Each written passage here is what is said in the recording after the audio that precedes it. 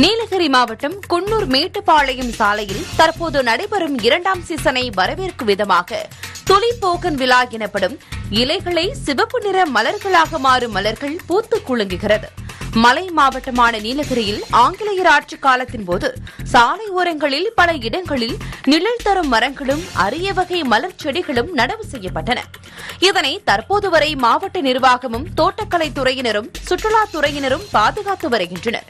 குறிப்பாக ரெட்லிஃப் மலர்கள் போகன்வில்லா ஜெகரண்டா போன்ற மரங்கள் சாலைகளின் ஓரத்தில் நிழலுக்காக இருந்தாலும் இவற்றில் மலரும் மலர்கள் சிவப்பு கம்பளம் விரித்தாற்போல் காட்சியளித்து சுற்றுலா பயணிகளையும் உள்ளூர் மக்களையும் அதிகளவு கவர்ந்து வருகிறது.